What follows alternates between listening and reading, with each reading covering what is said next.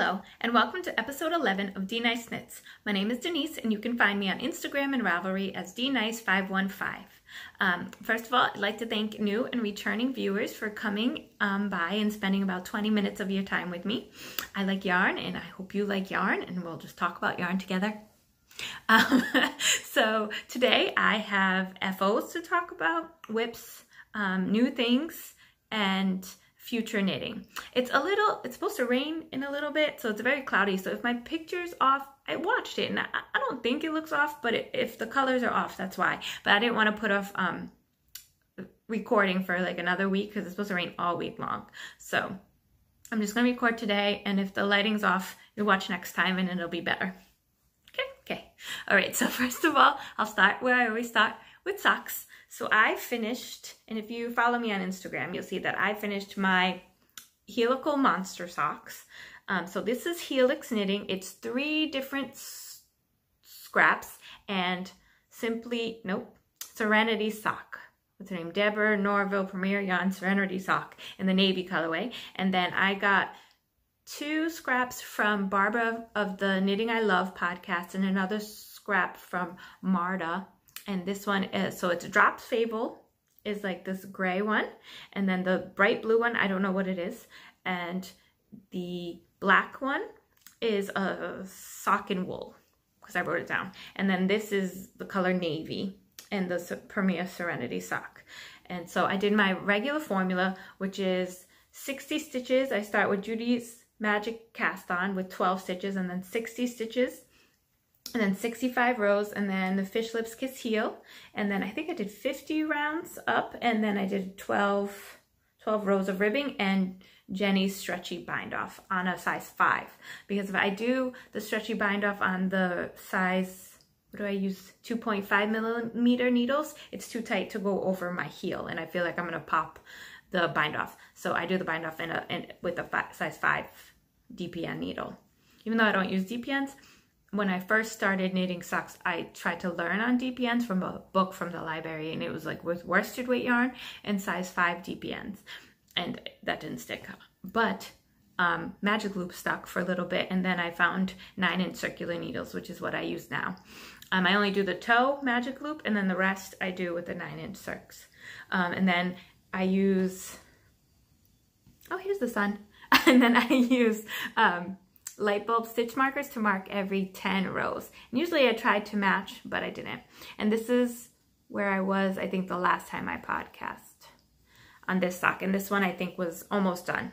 I was here on this one. And then I put a marker because I have a mistake. I forgot to carry over the blue. So you can see there's like a, a big line where it goes gray, black, gray. And then it's like, and then you can see right here is a mess up because you're not supposed to be, this like little demarcation is where I my I don't tension well when I switch um, colors. So that's why you see a little line here. And yeah, there's a, a little line there. But I'm sure when I wear it, it'll be fine. But I didn't notice that mess up until I took pictures of it. And then I was like, that looks weird. Why is it like that? Because I messed up. Meh. So then my other um, finished project I, I knit a lot this week, but I knit on different things. Like I didn't, I only finished two things in two weeks, where I usually finish more than that. Um, and I've been working on a secret project pretty exclusively because I want to finish it. Um, and I found out that if I crochet for 20 minutes and then I take like a five minute break and knit on something or just take a five minute break, which I should do, I should take like breaks when I knit and crochet, that it doesn't bother me as much. If I crochet like nonstop for 45 minutes, an hour, my hand hurts so bad. So now if I crochet for 20 minutes, I'll take a break and then I crochet for 20 minutes and I take a break and I can crochet for longer. Just, I should know that already, but now I know. So I'm crocheting much longer and I feel like crochet goes so, so much quicker than knitting when it's a blanket. Um, so my second finished project is my daughter. My heart is full. My daughter asked me for, I made her socks two years ago. And last year she only wore them once to go um, outside in the snow with her dad and she didn't wear them again. and then this year, I don't know, she got cold one day and she said, could I wear the socks you made me? And I was like, yes. and then she asked for more socks. so my heart is full. So um, she asked for rainbow socks, and um, I had this yarn, which is Four Seasons Hot Sock Stripes. Say that. And I got this off of hotyarns.com, which has European yarn. This is from Germany. And they have European yarn, and I think the shipping is like $3 or 4 $4? $4. So it's hotyarns.com. So they have Opal and Regia, and they have good prices. Um, and they have discount yarn. So this one I think was like $10 for the skein and then I bought them in a pack. Like I bought I think $50 worth of yarn and it was free shipping for 50 just like Knit Picks does. So this is, I made her tube socks because I only had 40 grams of this yarn and I had just a little bit left. I think it was 35 grams of this yarn. I'll weigh it when, when I'm done. Um, so I made these for her and I started with Judy, Judy's Magic Cast On and I went up to 48 stitches because the ones I made her before had 48 stitches and then I did ribbing on the front but I did I think it's four stitches and one purl and then I, I, I do it as a broken rib so it'll be three and then one purl three and then one purl and then on the next round I did just a knit stitch so it's it's not as pulled in as regular ribbing, but it still adds a little bit more stretch, which I'll talk about in a second. So they fit her, they go past her heel. Oh, and I did tube socks because I, she's gonna grow and I, I don't wanna fuss with the heel or whatever. So they'll fit her as long as they fit her and that's fine. Maybe I'll repurpose the yarn for something else. But so yeah, so she likes them. They're kind of rainbowy. They're missing yellow and purple, but this is the closest I had to a rainbow. And who knows if she'll wear these. But she has asked for them, so I'm glad that I can show you guys and now I can sew in the ends and give it to her. Um, and once again, I use the, the stitch markers to do every 10 rounds so that they're the same. And I think I did 50 rounds and then 20 of a rib because I, I did it until I thought I was going to run out of yarn. So that's that one. So now I'll go into my works in progress because I am making her um, is a free. It's called the, I think it's just Kids Tube Socks Pattern by Jane Richmond. Yes. And this one I did two pattern. So it's on 2.75 needles, a US 2. And um, I, and then it's a, like measure your kid's foot. So I measured her foot. So this is 40 stitches um, on yeah, 40 stitches on the 2.75 needle. And then I did 100 rounds and then 12 ribbing even though the pattern I think said, I think 10 ribbing, yes. But the pattern said 7 ribbing, but I did 10. And these don't fit her as well. And I think because um, it doesn't have the ribbing, and the ribbing like stretches over her heel more, so they, get, they kind of get stuck on her heel when we were trying to take it off. but she likes them and they're done, so I'm not to start over again and do it with the ribbing. Um, and these were so much quicker. But these are on a 2.25 and they're 48 stitches, yes. And I feel like it stretched better. So when, when I do this again, so I have the second one too. This is opal yarn, opal pan, panorama in the yoga colorway. And so I'm almost done. Like I have, I think, 10 more rounds to go before I get to the ribbing. So I'm almost done because it's only 40 stitches and I do it magic loop until there's quite a bit and then I switch to the circular needles, even though it stretches it out while it's on the needles, but as you can see, it's fine. Um, so yeah, so these are almost done. Really, really quick. So then I was like, oh, I'm almost done with those. Let me start. She, she asked for blue ones? And I was like oh I have lots of blue yarn mommy loves blue. Um but then she's like I don't want any stripes. And I was like oh no. I don't think I have any sock yarn with no stripes. Because I don't know I feel like um self-striping yarn or self-patterning yarn goes faster and it's like interesting to have different colors. But she said she didn't want any stripes. So I was like okay mommy we'll go through um her stash and I'll find, so I did. So I found this, this is from AC Moore, it's a studio sample and it's 50, no, yes, 50% wool, 20% nylon, no, sorry, 60% wool, 20% nylon, 20% acrylic, which I thought nylon and acrylic was the same thing, but whatever. So this is a dollar. Um, so I started on her socks and I'm following the tube tube sock pattern again and I did it again on the 2.75 needles but this yarn is thinner than the opal yarn So you can kind of like see through the sock a little bit, but I'm not starting over again. It is what it is. So I'm doing the, the 48 stitches on the 2.75 and I'm doing a ribbing again, just the broken rib again. And I think this is a three by one rib, broken rib. And then I was knitting and I came to this. I don't know what that is, but I stopped knitting and I'm just gonna cut it off and go from there. So that's that. It's another work in progress. And then I have three more work in progress. I don't know. So then I have um knitting that I keep in my purse for like emergencies.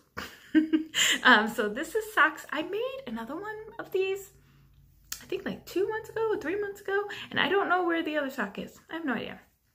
So this is um, just another sock yarn from AC Moore. It's a Nicole's Studio sample. But this one is 100% acrylic because my best friend says she's allergic to wool or she finds wool scratchy. So I make her acrylic socks, which also bother her too.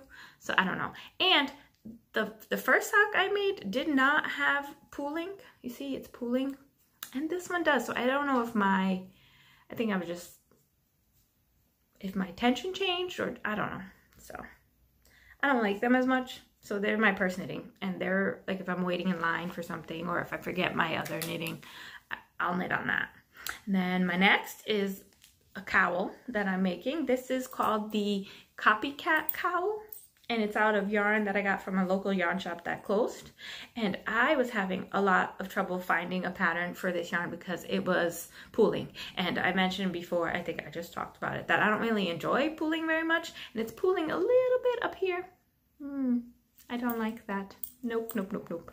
But it didn't pool that much in the other um, rounds. So it is what it is. It's fine.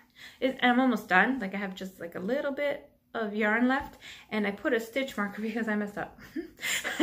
so this, this pattern's free. It's really easy, but it does um, like seven rounds of purling and then a knit purl, knit purl, and then knit, no, sorry. Yeah, knit purl for six rounds and then seven rounds of purling. And I just switched it up. I did seven rounds of rib and then when I wear it, I'll just wear it inside out.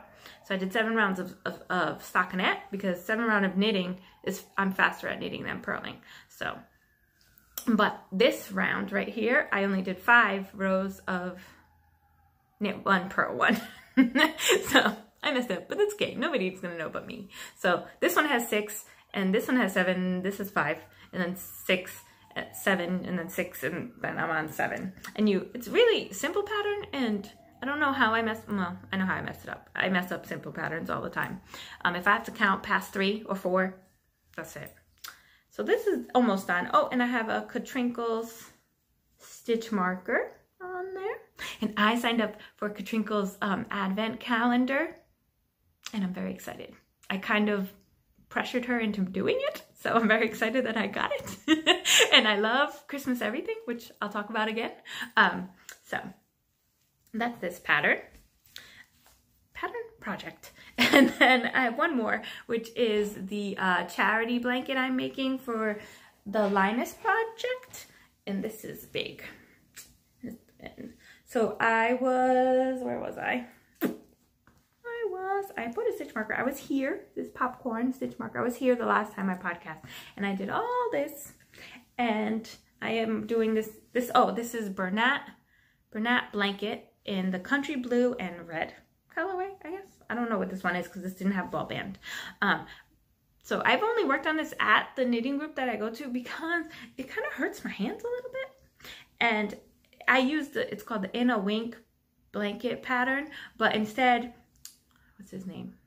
Stephen West has the garter squish. So you put in, I put an I-cord edging on the side because I like the way that looks with the garter blanket. Instead of having like the garter bumps at the sides I do an I-cord edging. And it's really easy. You just slip three stitches in front at the end of your row and then the beginning of the row you knit those three stitches. So I like it a lot. And so like yeah so you can see the um, I-cord edging on this side.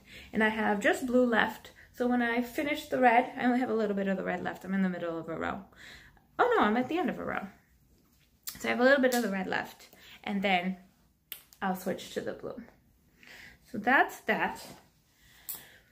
I have a lot of work in progress and I'm talking way more than I thought I would today. So I'm sorry for the people that like the short episodes. This is going to be like 20 minutes. So now I can talk about new things. And so I was on, I was on a yarn diet. Um, and I didn't buy yarn for nine months, which is really good for me because, um, yeah, just is. I'm trying to get all my yarn to fit in a 30 gallon tote and they don't know. I, I have them in a box and in, in bags and it just, not yet, but I will get there. Um, so for, for my surprise, yeah, my surprise project, I bought yarn for that because I didn't have the yarn that I needed for that. So I bought the yarn for that, which I will show you when it's done and it's almost done. I'm very excited about that. Um, and then my friend Sarah, and it wouldn't be a podcast if I didn't mention my knitting group or Sarah from my knitting group, told me, I think three weeks ago, I think three weeks ago, that um, Joann Fabrics was having 25% all 25% off all their clearance yarn.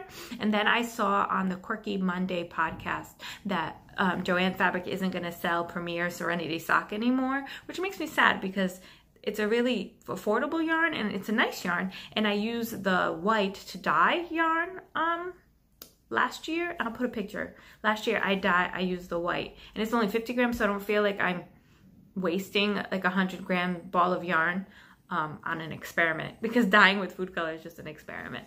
But so I'm kind of sad about that. So she, when I found that out, I was like, oh, maybe I should. When Sarah told me, I was like, no, I'm on a yard diet. I just bought yarn for a project that I wasn't planning on buying. Um, I'm not going. And I didn't last. I lasted three weeks. um, only because I thought that I could find some Serenity sock. And I did. Sorry. Before my daughter asked for blue yarn, um, I saw this. And you're gonna be like, if those people that watched from the beginning, I made um, socks from my mother-in-law, yes, out of this yarn, which was recycled from a project that I made with lace um, and I didn't like. So I made socks out of this. So I think I have another ball of this. So I'm gonna make her some stripy blue and green um, tube socks and me socks match because I'm that mom that likes I'm corny. Um, and then this, oh, and this was on sale. It was $2.25. And I was searching for more, but I'm sure other people found the Serenity socks before me because they've been on sale and discontinued or clearanced out for a while now, I think, at the Joann's. yeah, so I don't think Joann's is going to sell any Premier yarns anymore. Um, I know that AC Moore sells some of them, like the cakes, because um, I had some from there. Um, but they're not selling the Serenity sock. And I really like the Serenity sock, so I'm kind of sad about it. But it is what it is. I'll be able to find more yarn. I don't think it'll be a problem. And then I also saw this, and there's two of them, and this one's seen better days. But it's so cute. Of course, it's a cake yarn, and it's blue. Uh, duh. And so they had two, and I really liked them. And this was a dollar eighty-four. So I was like, I have to, I have to, I have to. So those three things of yarn were like $5.50 or something, $5.75 or something. So I did it, I bought yarn. And then, so that will probably be a future project. I want to make, I think, another cowl out of this, but for myself. Not that I need any more blankets, any more scarves, but whatever. Um, and then I did a swap with, oh my God, I forget her name. So a while ago, I posted on Instagram that I had leftovers from all my socks. And I usually use like commercial yarn. I don't usually use like indie dyed yarns. I think I had like three indie dyed yarns. Um, and I had, most of my scraps were over 30, 30 grams. So I was like, can somebody swap with me? so I swapped 20 gram minis with um, somebody on Instagram.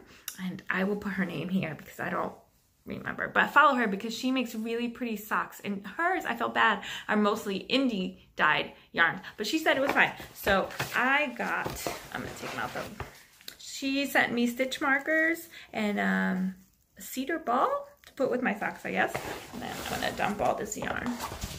And these like are some of them are colors that I don't usually buy. So I'm really excited about that. There's some blue, obviously. But look at this one. This one is a Dragon Horde fiber yarn. And this one, she didn't know what it was. And there's Hazel Knits. Look at how pretty. And um, Madeline Tosh. And this is, um, I think this is a, she wrote it down for me. This is a, I don't know. Oh, this is Malabrigo. This is Mad Madeline Tosh. Look at that orange. Like, I never use orange, but it's pretty. Oh, and then there's a Lion Brand and this really pretty purple called Grape Soda. Oh, and this is Knit Picks. Knit Picks. And this is Expression Fiber Arts. And she didn't know what this was, right? Yeah. So those are all my new things. So we swapped and I'm really excited to put these in my blankets or to do some scrappy socks with them. I don't know. I'll probably put them in my blankets that I make, my scrappy yarn blankets. Because a lot of these are colors that I don't use, like this yellow and this orange. This color, obviously, I use blue. Look at that, pretty blue. Okay, talking a lot. So then I have future projects. So um, I follow a lot of podcasts. I watch a lot of podcasts. I binge project podcasts like people binge TV. Um, I think I've said that before. Like I don't watch a lot of Netflix or or but Christmas is coming. So I watched the Stranded podcast with Amy Florence, and then like there's like 14,000 people that watch it too. Um, and two years ago, three years ago, she did a festive sock along where she's trying to have 24 pairs of socks for Advent. So she'll have a pair of socks every day.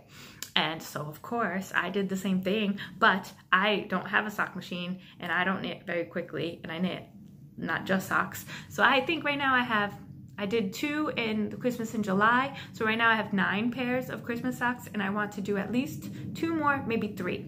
Um, so I went on wool woolwarehouse.com and I was looking for West Yorkshire Spinners does a Christmas sock every year. And they had it and I procrastinated and now it's sold out. So I'm waiting for it to come back and then I will buy more yarn. but this, um, yeah, it's woolwarehouse.com co no yeah dot co dot uk and they have really good prices on opal yarns and regia yarns and um, west york west yorkshire spinners yarn. I think it's like nine dollars. Um, and the shipping's four dollars. Yes four dollars four pounds. So i think it's like five six dollars us shipping which is not bad. Um, so when those come in i'll be ordering more yarn. But it's christmas yarn so it's different. It, it doesn't count right? Right. Okay. And so, so um, the festive sock along, sock along starts October 1st, and today is October 8th. Um, so I am late because I wanted to record first before I started this. So I have my little Christmas um, project bag, which I got on eBay, I think, or AliExpress, one or the other. So I like it. It's cute. It costs like 75 cents. And then I have Knit Picks yarn, which I ordered last year. And I didn't even open the box until a week ago. because I have so much yarn, I didn't need to open the box until a week ago. um, so I bought Knit Picks, and this is the Stroll Tweed.